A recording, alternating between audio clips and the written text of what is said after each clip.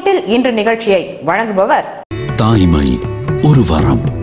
சுதா கருத்தரிப்பு மற்றும் மகளிர் நல மையம் ஈரோடு கோவை சேலம் கொலம்போ. இப்போது சென்னையிலும். Sri Jaishakthi enterprises Perundurai road Erode. Erode Sri Krishna TV நேயர்களுக்கு வணக்கம். ஈரோட்டில் இன்று நிகழ்ச்சியில் முதலில் முக்கிய தகவல்கள். ஐந்து மற்றும் எட்டாம் வகுப்பு பொதுத் தேர்வு நடைபெறாது. இது தொடர்பாக முதலமைச்சர் முடிவு செய்வார். அமைச்சர் செங்கோட்டையன் உறுதி. பொதுமக்களுக்கு தேவையான அடிப்படை வசதிகள் நிறைவேற்றுவதில் தமிழகம் முதல் இடத்தில் உள்ளது. அமைச்சர் கருப்பண்ணன் பெருமிதம். மலைவாழ் மக்களுக்கு பழங்குடியினர் ஜாதி சான்றிதழ் சட்டமன்ற உறுப்பினர் வழங்கினார். பெண் குழந்தைகள் பாதுகாப்பு தொடர்பான விழிப்புணர்வு நிகழ்ச்சி. மாவட்ட முதன்மை நீதிபதி பங்கேற்பு. விதிகளை மீறி பிளக்ஸ் பேனர் வைத்தால் நடவடிக்கை. சத்தியமங்கலம் அருகே அனைத்து கட்சி கூட்டத்தில் முடிவு.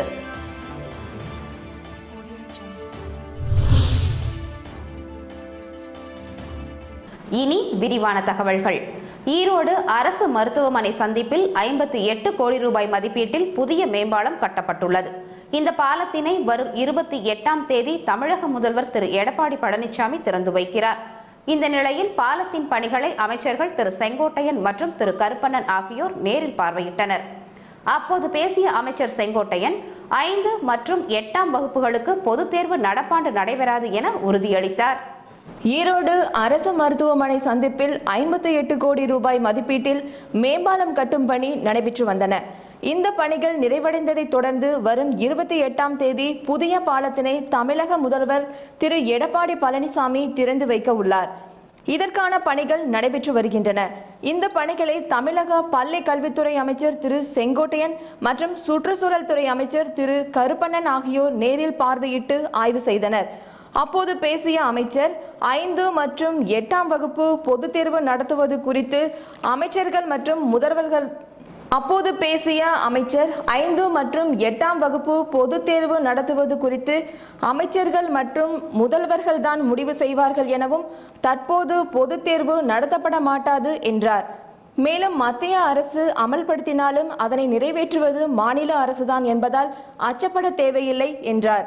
பள்ளி கல்வித்துறையில் எடுக்கப்படுகிற எந்த நடவடிக்கையாக இருந்தாலும் புதிதாக மத்திய அரசு கொண்டு வருகிற அந்த திட்டத்தில் மாநில அரசு தான் முடிவு செய்ய வேண்டும் என்று அவர்கள் ஆணை பிறப்பித்திருக்கிறார்கள். மாநில அரசை பொறுத்தவரையிலும் முதலமைச்சர் அமைச்சரவை கூட்டத்திலே தான் எந்த முடிவுகளும் மேற்கொள்ளப்படுமே தவிர எந்த அச்சமும் இந்த ஆண்டு மாணவர்களுக்கு தேவையில்லை. ஐந்து எட்டிலே பொதுத் தேர்வுகள் நடைபெறாது. இந்த ஆய்வின் போது சட்டமன்ற உறுப்பினர்கள் திரு. கே. வி. ராமலிங்கம் திரு. தென்னரசு சிட்கோ வாரிய முன்னாள் தலைவர் சிந்து ரவிச்சந்திரன் உட்பட்ட பலர் கலந்து கொண்டனர். பவானி அருகே சங்கராண்டபாளையத்தில் மேல்நிலை நீர்த்தேக்க தொட்டி அமைப்பதற்கான பூமி பூஜை நடைபெற்றது. இந்த விழாவில் தமிழக சுற்றுச்சூழல் துறை அமைச்சர் திரு. கருப்பணன் கலந்து கொண்டு பணிகளை தொடங்கி வைத்தார். அப்போது பேசிய அவர் பொதுமக்களுக்கு தேவையான அடிப்படை வசதிகளை நிறைவேற்றுவதில் இந்தியாவிலேயே தமிழகம் முதலிடத்தில் உள்ளது என்றார். ஈரோடு மாவட்டம் பவானி அருகே உள்ள சங்கரகவுண்டன் பாளையம் மற்றும் வேலமருத்தூர் ஆகிய பகுதிகளில் பத்து லட்சம் ரூபாய் மதிப்பீட்டில் மேல்நிலை நீர்த்தேக்க தொட்டி அமைப்பதற்கான பூமி பூஜை நடைபெற்றது. இதில் தமிழக சுற்றுச்சூழல் துறை அமைச்சர் திரு. கருப்பண்ணன் கலந்து கொண்டு மேல்நிலை தொட்டி அமைப்பதற்கான பணிகளை தொடங்கி வைத்தார். அப்போது பேசிய அவர் தமிழகத்தில் மக்களுக்கு தேவையான அடிப்படை வசதிகள் தொண்ணூறு சதவீதம் அளவிற்கு நிறைவேற்றப்பட்டுள்ளது என்றார். மேலும் வறுமை கோட்டிற்கு கீழ் உள்ளவர்களுக்கு இரண்டாயிரம் ரூபாய் வழங்கும் திட்டத்திற்கான பயனாளிகள் தேர்வு செய்யப்பட்டு வருவதாகவும் விரைவில் பயனாளிகளுக்கு வழங்கப்படும் என்றார். இதேபோல பவானி சட்டமன்ற தொகுதிக்கு உட்பட்ட பகுதிகளில் தொடர்ந்து வளர்ச்சி திட்டப்பணிகள் செயல்படுத்தப்பட்டு வருகிறது என்றார். மாண்புமிகு இதய தெய்வம் புரட்சித் தலைவி அம்மா அவருடைய அரசை சீரோடும் சிறப்போடும் வழிநடத்தி கொண்டிருக்கின்ற தமிழ்நாட்டினுடைய முதலமைச்சர் அருமையண்ணன் எடப்பாடி பழனிசாமி அவருடைய நல்ல ஆதரவோடும் துணை முதலமைச்சருடைய ஆதரவோடும் இன்றைக்கு தமிழகத்தில் அனைத்து தொகுதிகளிலும் அடிப்படை வசதிகள் இன்றைக்கு தொண்ணூறு சதவீதம் நிறைவேற்றப்பட்டிருக்கின்றது. கடந்த திமுக ஆட்சி காலத்தில் துணை முதலமைச்சர் ஸ்டாலின் அவர்கள் துணை முதலமைச்சராக இருந்து உள்ளாட்சித்துறை அமைச்சராக இருந்து நாட்டில் பல தண்ணீர் பிரச்சனை ரோடு பிரச்சனை எல்லாம் தீராமல் இருந்தது. நான் மிக அம்மாவுடைய அரசு வந்த முன்னால் இந்த ஏழு ஆண்டுகளில் இந்தியாவிலே முதன்மை மாநிலம் ஆகின்ற அளவுக்கு இன்றைக்கு அடிப்படை வசதிகள் பூரா இன்றைக்கு தொண்ணூறு சதவீதம் மக்களுக்கு முடிச்சு கொடுக்கப்பட்டு இருக்கின்றது. அதே போல் அம்மாவுடைய அரசை பொறுத்தவரை இன்றைக்கி தாழ்த்தப்பட்ட நடுத்தரப்பட்ட மக்கள் அனைவருக்கும் நலத்திட்டங்கள் இன்றைக்கு ஒரு குடும்பத்திற்கு என்ன தேவையோ அதில் ஐம்பது சதவீதத்தை அரசு மானியமாக இன்றைக்கு அவர்களுக்கு வழங்கி இன்றைக்கி ஐம்பது சதவீத செலவை மாண்புமிகு அம்மாவுடைய அரசு குறைத்திருக்கின்றது. இந்த நிகழ்ச்சியில் பவானி ஒன்றிய செயலாளர் தங்கவேல் கூட்டுறவு சங்க தலைவர் குப்புசாமி வாத்தியார் மற்றும் துறை சார்ந்த அதிகாரிகள் பொதுமக்கள் கலந்து கொண்டனர். அந்தியூர் அருகே பர்கூர் மலைப்பகுதியில் வசிக்கும் மக்கள் ஜாதி சான்றிதழ் கேட்டு நீண்ட நாட்களாக கோரிக்கை விடுத்து வந்தனர். இந்த நிலையில் சட்டமன்ற உறுப்பினர் ராஜா கிருஷ்ணனின் முயற்சியால் முதற்கட்டமாக நூற்று அறுபது பேருக்கு பழங்குடியினர் ஜாதி சான்றிதழ் வழங்கப்பட்டன. இதனை சட்டமன்ற உறுப்பினர் மற்றும் வருவாய்த்துறையினர் நேரில் சென்று வழங்கினர். ஈரோடு மாவட்டம் அந்தியூரை அடுத்த பர்கூர் மலையில் முப்பத்து ஐந்துக்கும் மேற்பட்ட மலை கிராமங்களில் சுமார் இருபத்து ஐந்தாயிரம் மக்கள் வசித்து வருகின்றனர். கொங்காடை காலனி பகுதியைச் சேர்ந்த சோழகர் இன பழங்குடி மக்கள் தங்களுக்கு ஜாதி சான்றிதழ் வேண்டும் என அரசுக்கு கோரிக்கை விடுத்து வந்தனர். மேலும் சட்டமன்ற உறுப்பினர் ராஜா கிருஷ்ணன் இதற்கான முயற்சிகளை மேற்கொண்டார். இந்நிலையில் மலைவாழ் மக்களுக்கு பழங்குடியினர் என ஜாதி சான்றிதழ் வழங்க தமிழக அரசு உத்தரவிட்டது. இதனைத் தொடர்ந்து ஈரோடு மாவட்ட வருவாய்த்துறையினர் மலைவாழ் மக்கள் வசிக்கும் இடத்திற்கே நேரடியாக சென்று சான்றிதழ்களை வழங்க முடிவு செய்தனர். இதற்கான விழா நடைபெற்றது.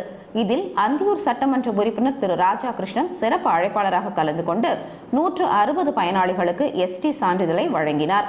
நிகழ்ச்சியில் துறை சார்ந்த அதிகாரிகள் மற்றும் கட்சி நிர்வாகிகள் பழங்குடியின மக்கள் கலந்து கொண்டனர். தேசிய பெண்கள் மற்றும் பெண் குழந்தைகள் தினத்தை முன்னிட்டு மாவட்ட சட்டப்பணிகள் ஆலோசனை குழு மற்றும் ரீட் தொண்டு நிறுவனம் சார்பில் விழிப்புணர்வு நிகழ்ச்சி ஈரோடு பேருந்து நிலையத்தில் நடைபெற்றது. இதில் மாவட்ட முதன்மை நீதிபதி திருமதி உமா மகேஸ்வரி கலந்து கொண்டு பெண் குழந்தைகள் பாதுகாப்பு குறித்து ஆலோசனைகளை வழங்கினார். தேசிய பெண்கள் மற்றும் பெண் குழந்தைகள் தினத்தை முன்னிட்டு ஈரோடு மாவட்ட சட்டப்பணிகள் ஆணைக்குழு மற்றும் ரீட் தொண்டு நிறுவனம் சார்பில் சட்ட விழிப்புணர்வு முகாம் ஈரோடு பேருந்து நிலைய வளாகத்தில் நடைபெற்றது. முகாமினை மாவட்ட சட்டப்பணிகள் குழு தலைவரும் மாவட்ட முதன்மை நீதிபதியுமான உமா மகேஸ்வரி மற்றும் மாவட்ட காவல்துறை கண்காணிப்பாளர் சக்தி கணேசன் ஆகியோர் தொடங்கி வைத்தனர். முகாமில் மாவட்ட முதன்மை நீதிபதி உமா மகேஸ்வரி பேசும்போது பெண்கள் முதியோர் பெண் குழந்தைகள் மாற்றுத்திறனாளிகள் மற்றும் திருநங்கைகள் ஆகியோர் பாதுகாப்பாகவும் அவர்களது புகாரின் பேரில் நடவடிக்கை எடுத்திடவும் மாவட்டந்தோறும் சட்டப்பணிகள் ஆணைக்குழு நடைபெற்று வருவதாகவும் சட்டப்பணிகள் ஆணைக்குழுவின் செயல்பாடு குறித்து பொதுமக்களுக்கு விழிப்புணர்வு ஏற்படுத்த வேண்டியது கடமையாக உள்ளது என்றார். மேலும் கட்டிடங்களுக்குள் செயல்பட்டு வரும் சட்டப்பணிகள் ஆணைக்குழு வீதிகளுக்குள் வருவதன் மூலமே அனைவருக்குமான நீதியை பெற்றுத்தர முடியும் என தெரிவித்தார். இதேபோல் மாவட்டம் முழுவதும் மக்கள் நெருக்கம் அதிகம் உள்ள பகுதிகளில் சட்டம் புகார்கள் குறித்த விழிப்புணர்வு முகாம்களை நடத்த திட்டமிட்டுள்ளதாகவும் பெண்கள் மீதான வன்கொடுமைகள் அதிகரித்து வரும் சூழலில் பாதிப்புக்குள்ளாகும் பெண்கள் மிகவும் துணிச்சலுடன் வந்து சட்டப்பணிகள் ஆணைக்குழுவினரிடம் புகார் கொடுத்து அவர்களுக்கான நீதியை பெற்றிட முன்வர வேண்டும் எனவும் கேட்டுக்கொண்டார். இந்த நிகழ்ச்சி வந்து ஒரு தெருக்கூத்து போடணும். சுப்ரீம் கோர்ட்டுடைய ஆர்டர் படி எல்லா ஊர்லேயும் பிப்ரவரி மாதம் ஒரு தெருக்கூத்து ஒன்று போட்டு பொதுமக்களுக்கு ஒரு விழிப்புணர்வு ஏற்படுத்தணுங்கிறது தான் இந்த ப்ரோக்ராமே இன்றைக்கி மூணு விதமான தெருக்கூத்து போட்டாங்க. ஒன்று கல்யாணான பெண் வீட்டில் கணவனாலும் மாமியாராலும் குடும்பத்தில் சந்திக்கும் பல பிரச்சனைகள்.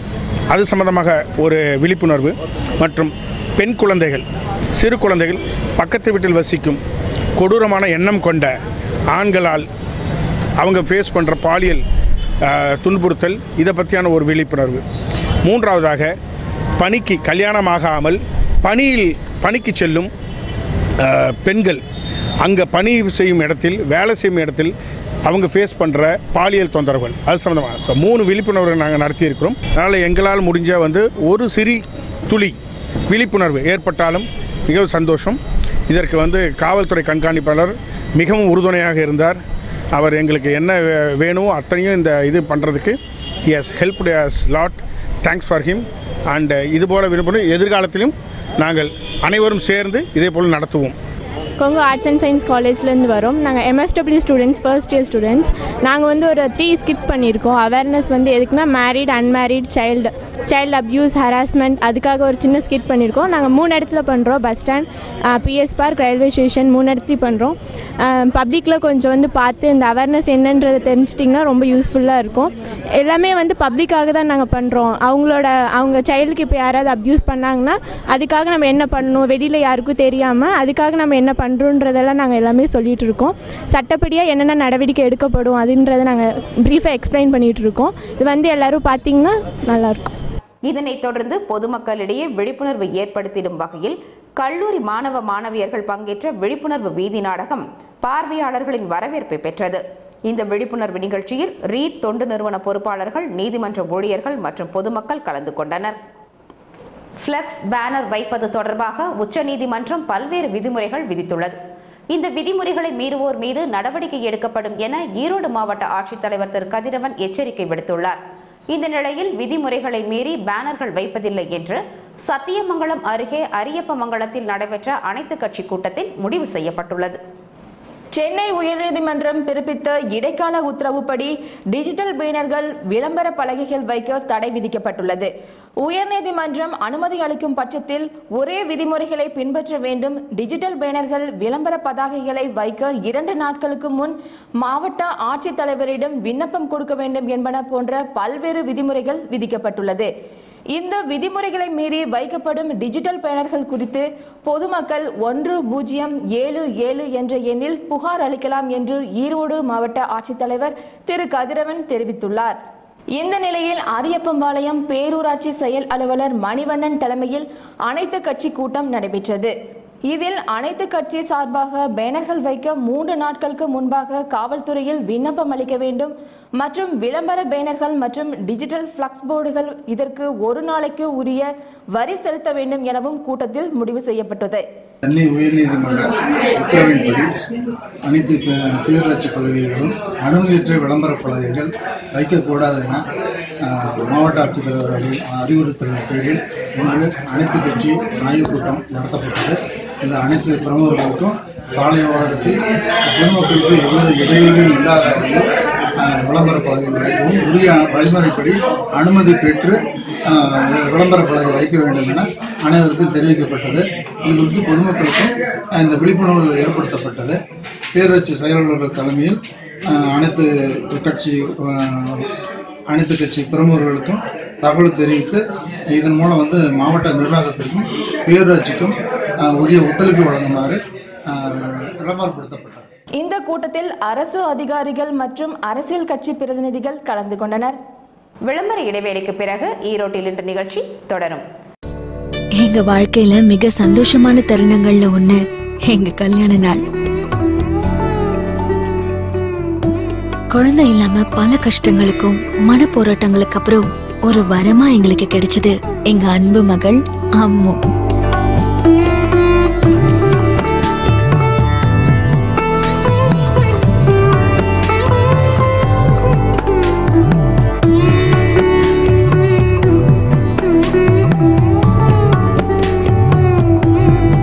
எங்க வாழ்க்கை சந்தோஷமானதாவும் அர்த்தமுள்ளதாவும் அம்மு ஒரு வரமா எங்களுக்கு கிடைக்க காரணமான சுதா ஹாஸ்பிட்டல். எங்க குடும்பத்தின் ஒரு அங்கம். தாய்மை ஒரு வரம். சுதா கருத்தரிப்பு மற்றும் மகளிர் நலமையம் ஈரோடு கோவை சேலம் கொலம்போ இப்போது சென்னையிலும். ஈரோடு மாநகரின் மிக பிரம்மாண்டமான tiles and bath fitting showroom Sri Jaishakthi enterprises. எட்டாயிரம் சதுர அடியில் பறந்து விரிந்துள்ள எங்களது ஷோரூமில் நாட்டின் முன்னணி நிறுவனங்களின் தயாரிப்புகளான wall tiles floor tiles wash basin closet bath fittings வுடன் floorings glass mosaics artificial marbles and tile accessories என அணிவகுத்து நிற்கும் அனைத்து பொருட்களும் தங்களின் தேர்வை எளிதாக்குகிறது.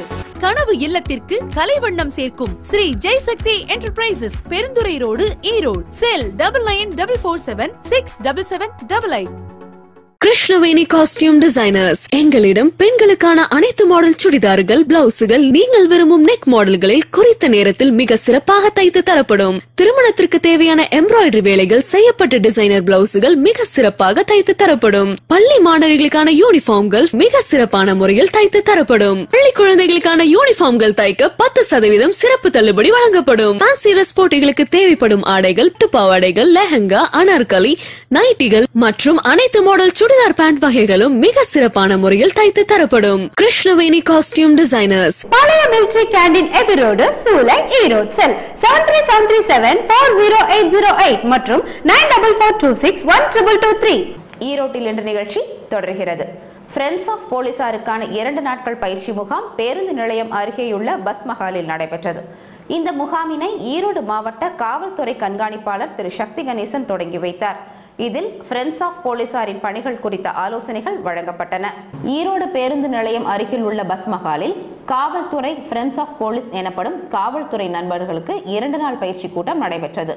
இந்த கூட்டத்திற்கு கூடுதல் காவல்துறை கண்காணிப்பாளர் சந்தான பாண்டியன் தலைமை வகித்தார்.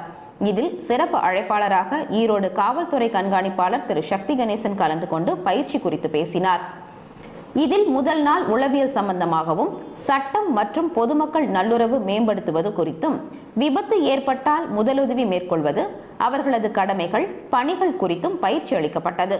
மனநல மருத்துவர் டாக்டர் அருள்குமரன் துணை காவல்துறை கண்காணிப்பாளர் சேகர் வீரப்பஞ்சித்திரம் ஆய்வாளர் முருகையன் ஓய்வு பெற்ற காவல் ஆய்வாளர் ராஜேந்திரன் ஆகியோர் பங்கேற்றனர். இந்த பயிற்சி கூட்டத்தில் ஈரோடு கோபி பவானி பெருந்துறை சத்தி அந்தியூர் உள்ளிட்ட மாவட்டத்தின் பல்வேறு பகுதிகளிலிருந்து நூற்று பத்திற்கும் மேற்பட்ட ஃப்ரெண்ட்ஸ் ஆஃப் போலீஸ் கலந்து கொண்டனர். காவல்துறைக்கு உறுதுணையாக இருக்க ஃப்ரெண்ட்ஸ் ஆஃப் போலீஸ் மக்கள்களை கொண்டு வந்து திரட்டி ரெண்டு நாள் ட்ரைனிங் ப்ரோக்ராம் இன்றைக்கி கண்டக்ட் பண்ணோம். அவங்களுக்கு ரெண்டு நாள் ப்ரோக்ராமில் வந்து லீகல் நாலேஜ் போலீஸோட எப்படி அசஸ் பண்ணணும் அவங்களோட அவைலபிள் டைம்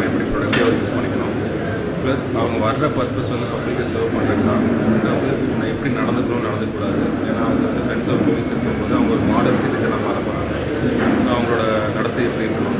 அவங்க அந்த ஃபிஃப்டி டு டுவெண்ட்டியில் வந்து தவறான பாதைக்கு போகாமல் இந்த போலீஸ்க்கு அசிஸ்ட் பண்ணுறதுக்கு வந்ததே ஃபஸ்ட் பார்ட்டிசிபேஷனே வந்து பாராட்டக்கூடியது ஸோ இது மென்மேலும் அவங்களோட ப்ரெசன்ஸை வந்து கரெக்டாக லீகல் நாலேஜ் கொடுத்து அவங்க காண்டாக்ட் எப்படி இருக்கணும்னு சொல்லி கொடுத்து ட்ரைனிங் பண்ணுறதுக்காக இந்த ஹாலில் ஏற்பாடு பண்ணியிருந்தாங்க ஸோ எங்களோட ப்ரெசன்ஸ் வந்து நமக்கு லேண்ட் கவர் இன்க்ரீஸ் பண்ணும். பீஃப் போலீஸ் இன்க்ரீஸ் பண்ணும். குற்றங்கள் தடுக்கப்படும் பொதுமக்களுக்கு நிறைய அவேர்னஸ் கேம்பெயின் சொல்லப்படும். ரெண்டாவது இவங்க அந்த கிராமத்தை சேர்ந்தவங்களா இருக்கங்காட்டி அங்கேருந்து வர தகவல்கள் இன்டெலிஜென்ஸ் எல்லாமே நமக்கு வந்து சரியாக சரியாக சரியாக சரியாக வரும். ஸோ அதை பேஸ் பண்ணி நம்ம கரெக்டான நடவடிக்கை எடுக்க ஸோ இது வரைக்கும் அது வந்து செயல்பட்டு இருக்கிறதுக்கு காரணம் வந்து பொதுமக்களிடம் நிறைய வரவேற்பு இருக்குது ஃப்ரெண்ட்ஸ் ஆஃப் போலீஸ் அப்படின்னா ஈரோட்டில் இருக்கிற அனைத்து மக்களுமே நமக்கு வந்து ஃப்ரெண்ட்ஸ் தான். பட் இவங்க வந்து அசிஸ்ட் பண்ணுறதுக்காக முன் வந்திருக்காங்க வாலண்டியராக வந்திருக்காங்க. ஸோ பாராட்டுக்குரியது இதேபோல் இரண்டாவது நாள் பயிற்சியின் போது எஃப்ஓபியினர் செய்யக்கூடியவை செய்யக்கூடாதவை எவை காவல்துறைக்கு ஃப்ரெண்ட்ஸ் ஆஃப் போலீஸ் செய்ய வேண்டிய உதவிகள் உடல் நலன் மற்றும் மனநல மேம்பாடு குறித்து பயிற்சிகள் அளிக்கப்படுகிறது. தமிழக அரசின் சிறப்பு மருத்துவ முகாம் அந்தியூர் அருகேயுள்ள பர்கூர் மலை கிராமத்தில் நடைபெற்றது. இந்த முகாமினை சட்டமன்ற உறுப்பினர் திரு ராஜா கிருஷ்ணன் தொடங்கி வைத்தார். இதில் மலைவாழ் மக்களுக்கு சர்க்கரை இரத்த அழுத்தம் உள்ளிட்ட பல்வேறு மருத்துவ பரிசோதனைகள் செய்யப்பட்டு ஆலோசனைகள் வழங்கப்பட்டன. ஈரோடு மாவட்டம் அந்தியூர் அருகே உள்ள பர்கூர் மலைப்பகுதியில் உள்ள அரசு ஆரம்ப சுகாதார நிலையத்தில் தமிழக அரசின் சிறப்பு மருத்துவ முகாம் நடைபெற்றது. இந்த சிறப்பு முகாமை அந்தியூர் சட்டமன்ற உறுப்பினர் திரு ராஜா கிருஷ்ணன் கலந்து கொண்டு தொடங்கி வைத்தார். இந்த சிறப்பு மருத்துவ முகாமில் மலைவாழ் மக்களுக்கு சர்க்கரை நோய் இருதய நோய் இரத்த அழுத்தம் உள்ளிட்ட பல்வேறு பரிசோதனைகள் மேற்கொள்ளப்பட்டன. நிகழ்ச்சியில் வட்டார மருத்துவ அலுவலர் மோகனவள்ளி தலைமையிலான மருத்துவ குழுவினர் பங்கேற்று பொதுமக்களுக்கு சிகிச்சை அளித்தனர். இந்த மருத்துவ முகாமில் மருத்துவர்கள் செவிலியர்கள் மற்றும் மலைவாழ் மக்கள் கலந்து கொண்டனர். தாளவாடி அருகே தேங்காய் நார் தொழிற்சாலையில் ஏற்பட்ட தீயானது அருகில் இருந்த இரு வீடுகளுக்கும் பரவியது. இந்த விபத்தில் தொழிற்சாலையில் இருந்த இயந்திரங்கள் மற்றும் வீட்டு உபயோகப் பொருட்கள் தீயில் எரிந்து சாம்பலாயின. தொழிற்சாலையில் ஏற்பட்ட மின் கசிவே விபத்திற்கு காரணம் என முதற்கட்ட விசாரணையில் தெரிய வந்துள்ளது சத்தியமங்கலம் அடுத்த தாளவாடி மலைப்பகுதி அண்ணா நகரில் தேங்காய் நார் தொழிற்சாலை செயல்பட்டு வருகிறது. இந்த தொழிற்சாலையில் தொழிலாளர்கள் வழக்கம் போல் பணியில் இருந்தனர். அப்போது திடீரென தீ விபத்து ஏற்பட்டது. காற்றின் வேகம் பலமாக இருந்ததால் அந்த தீ மலமளவென பற்றி எரிந்தது. இதனை எறிந்த தொழிலாளர்கள் தீயை அணைக்க முயற்சித்ததோடு தீயணைப்பு துறையினருக்கும் தகவல் தெரிவித்தனர். மேலும் தீயானது அருகாமையில் இருக்கும் இரண்டு வீடுகளுக்கும் பரவியது. இதனையடுத்து பொதுமக்கள் முயற்சி மேற்கொண்டு தீயை அணைத்தனர். எனினும் இந்த தீ விபத்தில் நார் தொழிற்சாலை இயந்திரங்கள் மற்றும் இரு வீடுகளில் இருந்த பொருட்கள் தீயில் இருந்து சாம்பலாகியது. இந்த திடீர் தீ விபத்து காரணமாக அப்பகுதியில் பரபரப்பு ஏற்பட்டது. தாய்மொழியின் சிறப்பை அறிந்து கொள்ளும் விதமாக உலக தாய்மொழி தினம் ஆண்டுதோறும் கடைபிடிக்கப்பட்டு வருகிறது. அதன்படி உலக தாய்மொழி தினம் கடைபிடிக்கப்பட்டது. நமது தாய்மொழியாம் தமிழ்மொழி வளர்ச்சிக்கு அனைவரும் பாடுபட வேண்டும் என தமிழ் ஆர்வலர்கள் வலியுறுத்தினர். தாய்மொழியின் பெருமையை அனைவரும் அறிந்து கொள்ளும் விதமாக உலக தாய்மொழி தினம் கடைபிடிக்கப்பட்டு வருகிறது. இதனையொட்டி பல்வேறு சிறப்பு நிகழ்ச்சிகள் நடைபெற்றன. தாய்மொழி தினத்தில் நம் தமிழ் மொழியின் பெருமைகளை சிறப்புகளை அனைவரும் அறிந்து கொள்வதோடு இளைய தலைமுறையினருக்கும் தெரிவிக்க வேண்டும் என தமிழ் ஆர்வலர்கள் தெரிவித்துள்ளனர். நல்லா இருக்கணும். எங்கள் காலேஜில் மூணு வருஷமாக இது நடந்துட்டு இருக்குது ரொம்ப நல்லா இருக்குது ஸ்டூடெண்ட்ஸ் பார்ட்டிசிபேட் பண்ணுவாங்க. அவங்க அவங்க தாய்மொழி எல்லாம் பேசுவாங்க. எல்லா எங்களுக்கும் நிறைய லாங்குவேஜஸ் கண்டு தெரிஞ்சது. ரொம்ப நல்லாவா பண்ணுறாங்க நம்ம காலேஜில் கொங்கு கலை கலை அறிவியல் கல்லூரி வருஷா வருஷம் இந்த தாய்மொழி தினம் நடத்திட்டு வராங்க. அதுக்காக நிறைய காம்படிஷன்ஸ் அப்புறம் ப்ரோக்ராம்ஸ் வைக்கிறாங்க. அதனால் வந்து எந்த மொழியில் இருக்கவங்களும் தமிழ் அப்புறம் மற்ற மொழிகள் ஹிந்தி மலையாளம் அந்த மாதிரி எல்லா மொழிகளில் இருக்க ஸ்டூடெண்ட்ஸுமே இதில் வந்து பார்ட்டிசிபேட் பண்ணிட்டு இருக்காங்க. அவங்களால வந்து எல்லா மொழியும் வந்து இதனால் கற்றுக்க முடியுது. எல்லாமே புரிஞ்சுக்கிறாங்க. எங்களது கொங்கு கலையறிவியல் கல்லூரியில் கடந்த மூன்று ஆண்டுகளாக இந்த தாய்மொழி தினத்தை கொண்டாடி வருகிறோம்.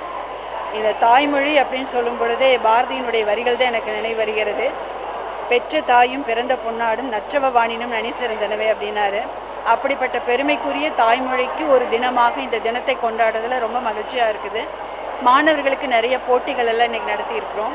ஆஹ் பாட்டு போட்டி ஓவிய போட்டி இந்த மாதிரி நிறைய போட்டிகள் நடத்தி பரிசுகள் கொடுக்க இருக்கிறோம். இந்த தினம் எதற்காக கொண்டாடுறோம் அப்படின்னா நாம் எப்போவுமே நம்முடைய தாய்மொழியை மறக்காமல் இருப்போம். இருந்தாலும் கூட இன்றைய தினத்தில் நம்முடைய தமிழ் மொழியினுடைய தாய்மொழியினுடைய சிறப்பையெல்லாம் மாணவர்கள் வந்து அவங்க எந்த அளவுக்கு உணர்ந்திருக்கிறாங்க அப்படிங்கிறக்காக தான் இந்த தாய்மொழி தினத்தை கொண்டாடுறோம். எனது தாய்மொழி தமிழுக்கு வணக்கம். நான் ஒரு ஹிந்தி பேராசிரியர் இருந்தாலும் நம்முடைய தாய்மொழி தமிழ் அதுக்கு தான் ரொம்ப முக்கியத்துவம் கொடுக்குறோம். எங்கள் கல்லூரியில் கொங்கு கலையறிவியல் கல்லூரியில் இந்த தாய்மொழி தினத்தை வந்து மூணாவது வருஷமாக நாங்கள் கொண்டாடிட்டு இருக்கோம். ஒவ்வொரு வருஷமும் நாங்கள் அந்தந்த மொழி சார்ந்த மாணவ மாணவர்கள் வந்து பாட்டு போட்டியில் கலந்துக்கணும். அதே மாதிரி குக்கிங் வித்தவுட் ஃபயர் அதே போல் ஓவிய போட்டி அந்த மொழியை சார்ந்த திருவிழாக்களோ இல்லது அந்த மொழி சார்ந்த இலக்கியவாதிகளை பற்றியோ வரையணும் அப்படின்னு. ஸோ இது மூலமாக அவங்க வந்து அவங்களுடைய மொழி சார்ந்த ஏன்னா நிறைய பேர் வந்து தமிழகத்தில் வந்து அவங்க வாழ தொடங்கியிருந்தாலும் அவங்களுடைய மொழி சார்ந்த நிறைய விஷயத்தை அவங்க தெரிஞ்சுக்கணுங்கும் போது இந்த தாய்மொழி தினம் வந்து அவங்களுக்கு ரொம்ப உதவியாக இருக்குது உலகம் முழுவதும் இன்று தாய்மொழி தினத்தை சிறப்பாக கொண்டாடி வருகின்றார்கள். தாய்மொழி என்பது நம்முடைய உணர்வை அறிவை வெளிப்படுத்துவதற்கு ஒரு மிகச்சிறந்த கருவியாக அமைகின்றது. தாய்மொழியில் கல்வியல் கற்கின்ற கல்வி கற்கின்ற நாட்டில் இருக்கக்கூடியவர்கள் மிகச்சிறந்த அறிவையும் மிகச்சிறந்த முன்னேற்றத்தையும் பெற்று வருகிறார்கள் என்பது அனைவரும் அறிந்த ஒன்றாகும். ஒருவர் எத்தனை மொழிகள் கற்றிருந்தாலும் தாய்மொழியையும் கற்க வேண்டும் எனவும் தமிழ் ஆர்வலர்கள் வலியுறுத்தியுள்ளனர். உலகின் மூத்த மொழியாம் நம் தாய்மொழியான சிறப்புகளை இளைய தலைமுறையினரிடம் எடுத்து செல்வோம் தமிழ் மொழியை காப்போம். வாரந்தோறும் நடைபெறும் கருங்கல்பாளையம் மாட்டு சந்தை நடைபெற்றது. கடந்த வாரத்தைப் போல தமிழக அரசின் விலையில்லா கறவை மாடுகள் வழங்கும் திட்டத்திற்கான கறவை மாடுகளை பயனாளிகள் கொள்முதல் செய்ததால் விற்பனை அதிகரித்தது. இதனால் விவசாயிகளும் வியாபாரிகளும் மகிழ்ச்சி அடைந்தனர். கருங்கல்பாளையம் கால்நடை சந்தை மிகவும் பிரபலமானது. இந்த சந்தைக்கு தமிழகம் மட்டுமின்றி வெளிமாநிலங்களில் இருந்தும் விவசாயிகள் தங்களது கால்நடைகளை விற்பனைக்காக கொண்டு வருவர். இதேபோல் பல்வேறு வெளிமாநிலங்களில் இருந்தும் கால்நடைகளை கொள்முதல் செய்வதற்காக வியாபாரிகள் வருவர். இந்த நிலையில் தமிழக அரசின் சார்பில் பொதுமக்களுக்கு விலையில்லா கறவை மாடுகள் வழங்கும் திட்டம் செயல்படுத்தப்பட்டு வருகிறது. இதற்காக பயனாளிகளை நேரடியாக சந்தைக்கு அழைத்து வரும் அதிகாரிகள் அவர்களுக்கு கறவை மாடுகளை அவர்களே தேர்வு செய்ய செய்தனர். அந்த வகையில் பல்வேறு வெளி மாவட்டங்களை சேர்ந்த பயனாளிகளும் கருங்கல்பாளையம் கால்நடை சந்தையில் தங்களுக்கான கறவை மாடுகளை தேர்வு செய்தனர். ஈரோடு கருங்கல்பாளையம் மாட்டு சந்தை தென் மாநிலத்திலே தென் மாவட்டத்திலே தென் மாநிலத்திலே இப்போ மிக பிரசித்தி பண்ணுற இந்த சந்தைக்கு வெளி மாநிலத்திலிருந்து வியாபாரிகள்லாம் வருவாங்க. கேரளா கர்நாடகா மகாராஷ்டிரா ஆந்திரா த- தெலுங்கானா போல மாவட்டத்திலேருந்து நிறைய வியாபாரிகள் வருவாங்க. மாடுகளை வாங்கிட்டு போவாங்க. அதே மாதிரி இப்போ தமிழ்நாடு அரசு விலையில்லா மாடுகள் கொடுக்கறதுனால மாடுகள் வரத்து கொஞ்சம் அதிகமாக இருக்குது அந்த மாடுகளை வந்து இப்போ தூத்துக்குடி மற்ற மாவ மாவட்டங்கள்லேருந்து இந்த பெண்கள் வந்து விலையில்லா மாடுகளை வாங்கிட்டு போகிறாங்க அதனால் வியாபாரம் ஓரளவுக்கு நடக்குது. வியாபாரம் ஓரளவுக்கு இருக்குங்க. அதே மாதிரி மற்ற மாவட்டங்களிலிருந்து வந்து வியாபாரிகளும் வந்து மாடுகளை வாங்கிட்டு போயிட்டு இருக்காங்க. மேலும் விலையில்லா கறவை மாடுகள் வழங்கும் தமிழக அரசுக்கும் தமிழக முதல்வருக்கும் தங்களது நன்றியினை தெரிவித்தனர். விளம்பர இடைவேளைக்கு பிறகு ஈரோட்டில் என்ற நிகழ்ச்சி தொடரும். எங்க வாழ்க்கையில மிக சந்தோஷமான தருணங்கள்ல ஒண்ணு எங்க கல்யாண நாள். குழந்தை இல்லாம பல கஷ்டங்களுக்கும் மன போராட்டங்களுக்கு அப்புறம் ஒரு வரமா எங்களுக்கு கிடைச்சது எங்க அன்பு மகள் அம்மு.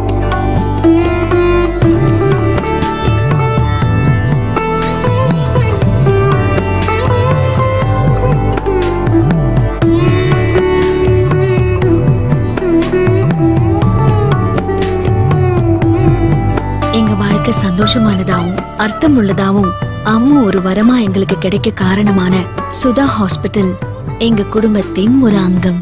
தாய்மை ஒரு வரம். சுதா கருத்தரிப்பு மற்றும் மகளிர் நல மையம் ஈரோடு கோவை சேலம் கொலம்போ இப்போது சென்னையிலும். ஈரோடு மாநகரின் மிக பிரம்மாண்டமான tiles and bath fitting showroom Sri Jaisakthi enterprises எட்டாயிரம் சதுர அடியில் பறந்து விரிந்துள்ள எங்களது ஷோரூமில் நாட்டின் முன்னணி நிறுவனங்களின் தயாரிப்புகளான wall tiles floor tiles wash basin closet bath fittings வுடன் floorings glass mosaics artificial marbles and tile accessories என அணிவகுத்து நிற்கும் அனைத்து பொருட்களும் தங்களின் தேர்வை எளிதாக்குகிறது.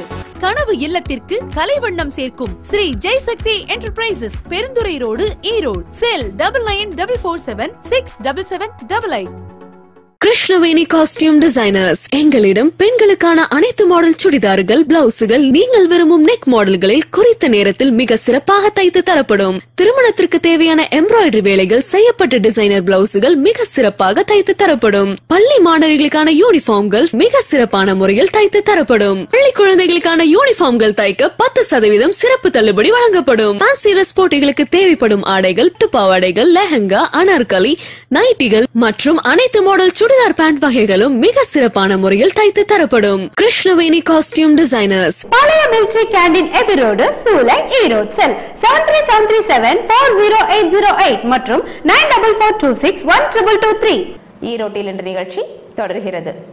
கோபி அருகே புதிதாக அமைக்கப்பட்ட துணை மின் நிலையத்தின் திறப்பு விழா நடைபெற்றது. இதில் தமிழக பள்ளிக்கல்வி இளைஞர் நலன் மற்றும் விளையாட்டுத்துறை அமைச்சர் திரு செங்கோட்டையன் கலந்து கொண்டு துணை மின் நிலையத்தை தொடங்கி வைத்தார். அப்போது பேசிய அவர் அரசு பள்ளியில் படித்தவர்களுக்கு அரசு வேலையில் முன்னுரிமை வழங்குவது தொடர்பாக நீதிமன்ற தீர்ப்பிற்கு பின்னர் முடிவு செய்யப்படும் என்றார். ஈரோடு மாவட்டம் நம்பியூர் பகுதியில் உள்ள கடசெல்லிபாளையத்தில் தமிழ்நாடு மின் உற்பத்தி பகிர்மான கழகத்தின் மூலமாக பத்து கோடி ரூபாய் மதிப்பிலான துணை மின் நிலையம் அமைப்பதற்கான பூமி பூஜை நடைபெற்றது. இதில் பள்ளி கல்வித்துறை இளைஞர் நலன் மற்றும் விளையாட்டுத்துறை அமைச்சர் திரு செங்கோட்டையன் கலந்து கொண்டு பணிகளை துவக்கி வைத்தார். அப்போது பேசிய அவர் ஐந்து மற்றும் எட்டாம் வகுப்பிற்கு பொதுத் தேர்வு கொண்டு வருவது குறித்து அரசுதான் முடிவு செய்யும். ஆனால் இதுவரை தமிழக அரசு எந்த முடிவும் மேற்கொள்ளவில்லை என்றார். மேலும் நீதிமன்றத்தில் வழக்கு தொடரப்பட்டுள்ளதால் நீதிபதி என்ன சொல்கிறாரோ அதை பொறுத்து முதலமைச்சருடன் கலந்து முடிவெடுக்கப்படும் என தெரிவித்தார். மாண்புமிகு இதயம் புரட்சித் தலைவர் அம்மாவுடைய வழிகாட்டியை நடைபெற்றுக் கொண்டிருக்கிற தமிழக முதலமைச்சர் எடப்பாடி பழனிசாமி அவர்களும் துணை முதலமைச்சர் ஓ பன்னீர்செல்வம் அவர்களும் ஒருங்கிணைந்து பல்வேறு பணிகளை இன்றைக்கு நிறைவேற்றி வருகிறார்கள். நம்முடைய மின்துறை அமைச்சர் மாண்பு தங்கமணி அவர்களும் இன்றைக்கு நம்முடைய பகுதியிலே வாழ்கிற மக்களுடைய நலன் கருதி என் மேட்டுப்பாளையம் என்று சொல்லப்படுகிற இந்த பகுதியில் நூற்றி பத்து கேவி மின் அழுத்தம் உள்ள ஒரு துணை மின் நிலையத்தை உருவாக்குவதற்காக இன்று நிதிகள் ஒதுக்கப்பட்டிருக்கிறது. பத்து கோடி அறுபத்தோரு லட்சம் நிதிகள் இன்றைக்கு ஒதுக்கப்பட்ட அந்த பணிகள் துவங்கி அடிக்கல் நாட்டப்பட்டிருக்கிறது. நம்முடைய தமிழகத்தை பொறுத்தவரையிலும் முழுமையாகவே இதற்கு தமிழக அரசே தான் மின்துறை தான் இதற்கு முழு நிதிகளையும் ஒதுக்கி இருக்கிறது. ஆகவே நம்முடைய மின்துறை அமைச்சருக்கும் முதலமைச்சர் துணை முதலமைச்சருக்கும் என்னுடைய நெஞ்சார்ந்த வாழ்த்துக்களை நான் தெரிவித்துக் கொள்கிறேன். இந்த பகுதியில் வாழ்கிற மக்களுடைய நலன் கருதித்தான் நூற்றி பத்து கேவி என்பது சில இடங்களில் ஒவ்வொரு பகுதியிலும் உருவாக்கப்படுகிறது. இங்கே நூற்றி பத்து கேவி கொண்டு வருவதற்கும் அதற்கு ஒத்துழைப்பை நல்கிய நம்முடைய மின்துறை சார்ந்திருக்கிற அனைத்து துறையின் தலைமை பொறியாளர் மற்றும் இருக்கின்ற எஸ்சி போன்றவர்கள் இங்கே இருக்கின்ற நம்முடைய அனைவருக்கும் என்னுடைய வாழ்த்துக்களையும் நன்றியும் நான் தெரிவித்துக் கொள்கிறேன். இதேபோல் அரசு பள்ளியில் படித்தோருக்கு அரசு வேலையில் முன்னுரிமை அளிப்பது குறித்த வழக்கில் நீதிபதிகள் கூறும் கருத்திற்கேற்ப முதலமைச்சருடன் கலந்து முடிவெடுக்கப்படும் எனவும் உயர்நிலை மற்றும் மேல்நிலை பள்ளியில் விளையாட்டு ஆசிரியர்கள் நியமிக்கப்பட உள்ளதாகவும் அனைத்து பள்ளியிலும் மாலை நேரத்தில் மாணவர்கள் விளையாட நடவடிக்கை எடுக்கப்பட்டுள்ளது என்றார். இந்த விழாவில் திருப்பூர் பாராளுமன்ற உறுப்பினர் சத்யபாமா மற்றும் துறை சார்ந்த அதிகாரிகள் பொதுமக்கள் கலந்து கொண்டனர். ஈரோடு காவேரிக்கரை விஸ்வரூப சாய்பாபா திருக்கோவிலில் சிறப்பு ஆராதனை நிகழ்ச்சி நடைபெற்றது. இதனையொட்டி சாய்பாபாவிற்கு பல்வேறு நைவேத்திய பொருட்களை கொண்டு அபிஷேகம் மற்றும் அலங்கார தீபாராதனை நடைபெற்றது. இதில் ஈரோடு மற்றும் நாமக்கல் மாவட்டங்களைச் சேர்ந்த சாய்பாபா பக்தர்கள் கலந்து கொண்டனர். வாரந்தோறும் வியாழக்கிழமைகளில் சாய்பாபா கோவிலில் சிறப்பு ஆராதனை நிகழ்ச்சி நடைபெறுவது வழக்கம். அதன் ஒரு பகுதியாக காவிரிக்கரை விஸ்வரூப சாய்பாபா திருக்கோவிலில் சிறப்பு ஆராதனை நடைபெற்றது. இதனை ஒட்டி சாய்பாபாவிற்கு பால் தயிர் இளநீர் உள்ளிட்ட நைவேத்திய பொருட்கள் கொண்டு அபிஷேகம் நடைபெற்றது. தொடர்ந்து பல வண்ண மலர்களால் அலங்கரிக்கப்பட்ட சாய்பாபாவிற்கு பஞ்சமுக விளக்குகள் கொண்டு மகா தீபாராதனை நடைபெற்றது. மேலும் சாய்பாபா வழிபாடு பாடல்களும் பாடப்பட்டன. இந்த சிறப்பு ஆராதனை நிகழ்ச்சியில் தொடர்ந்து பங்கேற்று வந்தால் வாழ்வில் சகல செல்வங்களும் கிடைக்கும் என பக்தர்கள் நம்பிக்கை தெரிவித்தனர். சிறப்பு ஆராதனை நிகழ்ச்சியில் பங்கேற்ற பக்தர்களுக்கு பிரசாதமும் அன்னதானமும் வழங்கப்பட்டது. இந்த வழிபாட்டில் ஈரோடு மற்றும் நாமக்கல் மாவட்டங்களைச் சேர்ந்த ஏராளமான பக்தர்கள் கலந்து கொண்டு சாய்பாபாவை வழிபட்டனர். வீரப்பன் சத்திரம் ஏபிடி சாலையினை சேர்ந்த கட்டிட தொழிலாளி அஜித் குமார் அதே பகுதியைச் சேர்ந்த சிறுமி ஒருவரை ஆசை வார்த்தை கூறி திருமணம் செய்துள்ளார். இது தொடர்பாக சிறுமியின் பெற்றோர் கொடுத்த புகாரின் அடிப்படையில் வழக்கு பதிவு செய்த மகளிர் காவல்துறையினர் பாக்சோ சட்டம் உள்ளிட்ட மூன்று பிரிவுகளில் அஜித் குமாரை கைது செய்தனர். ஈரோடு வீரபஞ்சத்திரம் ஏபிடி ரோடு மிட்டாய்க்காரர் தெருவைச் சேர்ந்தவர் அஜித்குமார் கட்டிட தொழிலாளியான இவருக்கும் ஈரோடு பகுதியைச் சேர்ந்த பதினொன்றாம் வகுப்பு படிக்கும் பதினாறு வயது சிறுமிக்கும் பழக்கம் ஏற்பட்டது. இதனால் அஜித்குமார் கடந்த பதினான்காம் தேதியன்று சிறுமியிடம் திருமண ஆசை வார்த்தை கூறி கடத்திச் சென்று திருப்பூரில் திருமணம் செய்து கொண்டார். இதற்கிடையில் சிறுமியின் பெற்றோர் மகளை காணவில்லை என ஈரோடு வீரப்பன் சத்திரம் போலீசில் புகார் அளித்தனர். போலீசார் வழக்கு பதிவு செய்து சிறுமியை தேடி வந்தனர். இந்நிலையில் ஈரோடு பேருந்து நிலையம் அருகே சுற்றித் திரிந்த இருவரையும் வீரப்பன் சத்திரம் போலீசார் பிடித்து ஈரோடு மகளிர் போலீசாரிடம் ஒப்படைத்தனர். இதனை அடுத்து மகளிர் போலீசார் அஜித்குமாரிடம் விசாரணை நடத்தி அவர் மீது பாக்சோ குழந்தை திருமண தடுப்புச் சட்டம் சிறுமியை கடத்திச் செல்லுதல் உள்ளிட்ட மூன்று பிரிவுகளின் கீழ் வழக்கு பதிவு செய்து கைது செய்தனர். இந்த சம்பவம் ஈரோட்டில் பரபரப்பை ஏற்படுத்தியுள்ளது. ஈரோடு கல்லுக்கடை மேட்டில் இனிப்பு கடை நடத்தி வரும் சுரேஷ் என்பவரை கத்தியை காட்டி மிரட்டி பணம் பறிக்க முயற்சித்துள்ளனர். இது தொடர்பாக கடையில் பொருத்தப்பட்டிருந்த கண்காணிப்பு கேமராவில் பதிவான காட்சிகளின் அடிப்படையில் விவிசிஆர் நகரைச் சேர்ந்த செல்வராஜ் என்பவரை கைது செய்த காவல்துறையினர் சிறையில் அடைத்தனர். ஈரோடு சம்பத் நகர் விஐபி காலனியை சேர்ந்தவர் சுரேஷ். இவர் கள்ளுக்கடை மேட்டில் இனிப்பு கடை வைத்துள்ளார். இந்த நிலையில் கடைக்கு வந்த மர்ம நபர் ஒருவர் சுரேஷிடம் கத்தியை காட்டி மிரட்டி பணம் கேட்டுள்ளார். ஆனால் சுரேஷ் பணம் இல்லை என்றதால் அவரை தகாத வார்த்தையால் பேசியதோடு கொலை மிரட்டலும் விடுத்ததாக கூறப்படுகிறது. இது குறித்து சுரேஷ் ஈரோடு சூரம்பட்டி காவல் நிலையத்தில் புகார் அளித்தார். இந்த புகாரின் அடிப்படையில் வழக்கு பதிவு செய்த காவல்துறையினர் அந்த மர்ம நபரை போலீசார் பிடித்து விசாரணை நடத்தினர். இந்த விசாரணையில் அவர் ஈரோடு வளையக்கார வீதி ஐயனாரப்பன் கோயில் வீதியைச் சேர்ந்த செல்வராஜ் என்பதும் ஓட்டுநராக இருப்பதும் தெரிய வந்தது. இதனையடுத்து செல்வராஜை நீதிமன்றத்தில் ஆஜர்படுத்தி சிறையில் அடைத்தனர். கடையில் பொருத்தப்பட்டிருந்த கண்காணிப்பு கேமரா உதவியால் செல்வராஜை காவல்துறையினர் கைது செய்தது குறிப்பிடத்தக்கது. வில்லரசம்பட்டியில் செயல்பட்டு வரும் எஸ்எம்விபி மெட்ரிக் பள்ளியின் ஆண்டு விழா நடைபெற்றது. இதில் சட்டமன்ற உறுப்பினர்கள் திரு கே வி ராமலிங்கம் திரு தென்னரசு ஆகியோர் கலந்து கொண்டு மாணவ மாணவிகளுக்கு பரிசுகளை வழங்கினர். தொடர்ந்து மாணவ மாணவிகளின் கண்கவர் கலை நிகழ்ச்சிகளும் நடைபெற்றன. ஈரோடு அருகே உள்ள வில்லரசம்பட்டியில் செயல்பட்டு வரும் எஸ்எம்விபி மெட்ரிக் பள்ளியின் ஆண்டு விழா பள்ளி வளாகத்தில் நடைபெற்றது. இந்த விழாவில் சிறப்பு அழைப்பாளர்களாக சட்டமன்ற உறுப்பினர்கள் திரு கே வி ராமலிங்கம் திரு தென்னரசு ஆகியோர் கலந்து கொண்டனர். அரசாங்கத்தினுடைய வருமானத்தில் மூன்றில் ஒரு பங்கை பள்ளிக்காக செயல்படுகிறது செலவிடப்படுகிறது என்று சொன்னால் அது இந்திய துணைக்கண்டத்திலேயே தமிழக அரசு மட்டும்தான் என்பதை இந்த நேரத்தில் நான் சுட்டிக்காட்டுகிறேன். புரட்சி தலைவர் அம்மா அவர்கள் இருந்த காலத்தில் ரெண்டாயிரத்தி பதினைந்து பதினாறாம் ஆண்டு இருபத்தி நாலாயிரத்தி எட்நூறு கோடி ரூபாயை அம்மா அவர்கள் ஒதுக்கி தந்தார்கள். ஆனால் அடுத்து வந்த அண்ணன் எடப்பாடி பழனிசாமி அவர்கள் இருபத்தி ஏழாயிரம் கோடி ஒதுக்கி தந்தார்கள். ஆனால் இன்றைக்கு இந்த ஆண்டு இருபத்தி எட்டாயிரத்தி ஐநூறு கோடி பள்ளி கல்வித்துறைக்கு ஒதுக்கப்பட்டிருக்கிறது. அதே போல் கல்வி ம- உயர்கல்வித்துறைக்கு நாலாயிரத்தி ஐநூறு கோடி ரூபாய் ஒதுக்கப்பட்டிருக்கிறது. ஆக முப்பத்தி மூணாயிரம் கோடி ஒரு லட்சம் கோடி ரூபாய் வருமானம் உள்ள இந்த அரசாங்கம் முப்பத்தி மூணாயிரம் கோடி ரூபாயை பள்ளிக்கு அற கல்விக்காக வழங்குறது என்று சொன்னால் நீங்கள் எண்ணி பார்க்க வேண்டும். எந்த அளவுக்கு கல்வியை வளர்த்த வேண்டும் என்று இந்த அரசாங்கம் எண்ணிக்கொண்டிருக்கிறது என்பதை நீங்கள் எண்ணி பார்க்க வேண்டும்.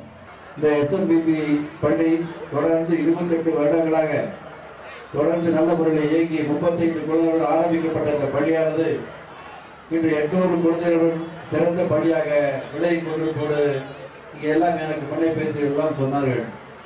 தொடர்ந்து இருபத்தோரு ஆண்டு காலம் தொடர்ந்து நூறு சதவீத வெற்றியை பெறுவது என்பது சின்ன வேலை அல்ல. அது கடினமான உழைப்புண்டு இந்த ஆசிரியர் பணி அதை விட அந்த நிர்வாக பணி இந்த இரண்டும் அதில் சிறப்பான பணியாக இருப்பதனால்தான் இருபத்தி ஒரு ஆண்டு ஆண்டு காலமாக நூறு சதவீத வெற்றி நீங்கள் எல்லாம் பெற்றிருக்க என்பதில் நான் மிகுந்த மகிழ்ச்சி அடைகிறேன். ஆசிரியர் பெருமக்கள் அந்த இந்த மாதிரி ஒரு திட்டங்கள் செயல்பாடுகள் ஒழுக்க ஒழுக்கமாக இருக்க வேண்டும்.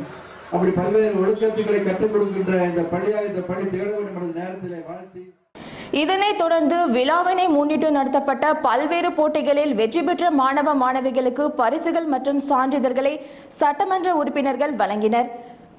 தொடர்ந்து பள்ளி மாணவ மாணவியரின் கண்கவர் கலை நிகழ்ச்சிகள் நடைபெற்றன.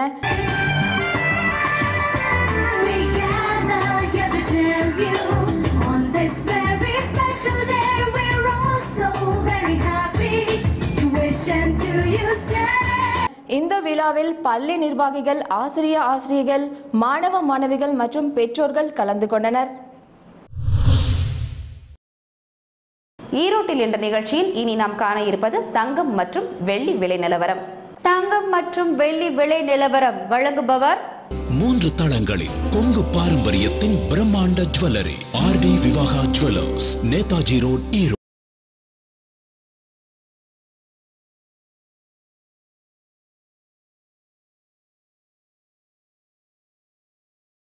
இத்துடன் ஈரோட்டில் இன்று நிகழ்ச்சி நிறைவடைந்தது. வணக்கம்.